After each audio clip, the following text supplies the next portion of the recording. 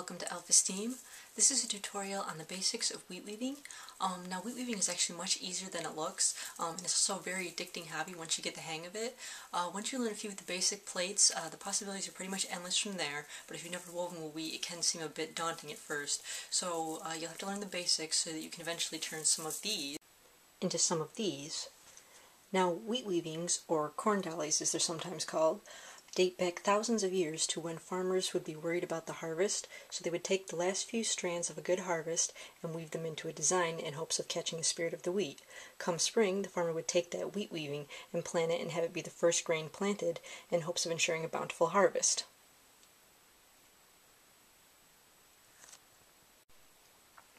Now there are a lot of different types of grain that you can weave with. Um, the two I have here are just common wheat and rye. Um, there's also, you can also weave with oats. It makes kind of interesting designs. And there's black bearded wheat, where the, the little things that fly out here will be black, but the inside will be white. Um, there's, there's many different kinds of grain that you can weave with, and it's fun to experiment to see what different designs come out when you use different types of Now, if you live in a rural area, it shouldn't be too difficult to find a farmer who would sell you a few stalks of grain. However, if you don't, then your best bet is usually to check in a florist shop as they often carry different types of wheat and rye for use in bouquets, but you can use it just as easily in wheat weavings. And as a third possibility, if you have a garden, you can always grow your own because most of these are very easy to grow. Um, for a beginner, wheat, the plain wheat is actually the easiest because the stems are the most pliable on wheat. I actually like using rye better because the stems are longer, but it's a little more difficult because they're more tendency to snap. And now this is the difference in size between a wheat straw and a rye straw. As you can see, the rye straw is much longer, several inches, than the wheat straw, which is good because it means you don't have to change straws as much, but it's also a lot harder to weave with the rye, so it's best to start with the wheat.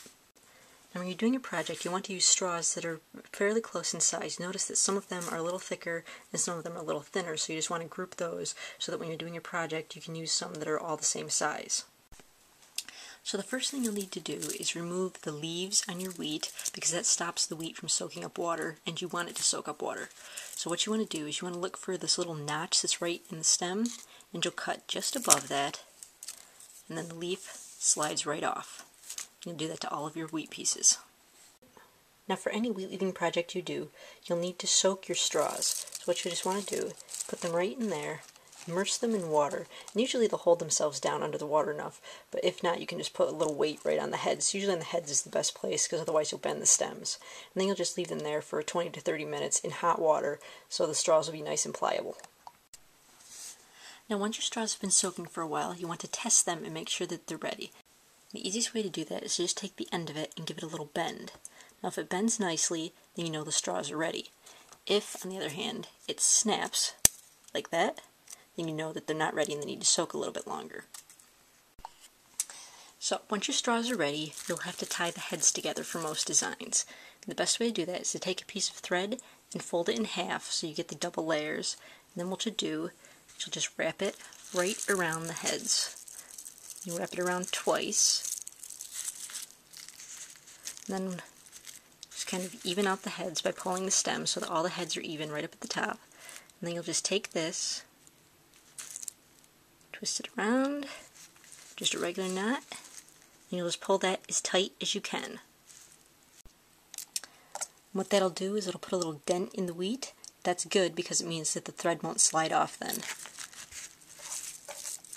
And so then of course you'll just tie it one more time to ensure that it's a nice tight knot. And then you can just trim any thread ends. Now this part will always be the back where the thread is. You'll always want to make sure that is in the back of your design because it doesn't look very nice if it's on the front. So once you've done the preparation steps, you'll want to figure out a way to hold the weaving while you're weaving it. The way I usually do that is I will put my, I'll sit on the ground and I'll put my foot right on the straws and hold them on the ground and then weave these together. But a lot of people find that uncomfortable to sit that way. So another option is that you can cut a notch in a board or a piece of cardboard and then stick the heads right in there and then just weave with the stems. So what you would do is just take a piece of thick cardboard and cut a V-shaped notch in it. Then you take your wheat weaving and slide the heads right in through the notch like that. That would hold it and allow you to weave the stems while the heads remain safely intact over there. And then you can just secure it to the back of a chair so that will hold right onto the heads and allow you to weave. And you can even sit right in the chair facing backwards so you have a seat too. It's not exactly pretty, but it gets the job done and allows you to easily weave while the cardboard holds the heads. Or you can use something heavy like a brick, just set it right on top of the heads, and then that will hold onto the heads so you can weave the straws together.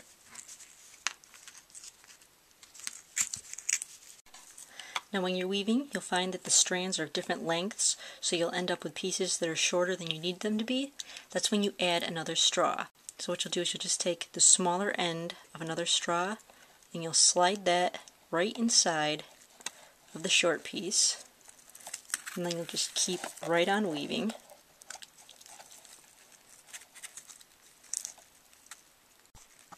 And then you'll see that there's a little piece on the very end of the old straw that hangs off a little bit and you'll just give that a little cut like that trimming up the edges and then it'll make a nice smooth plait.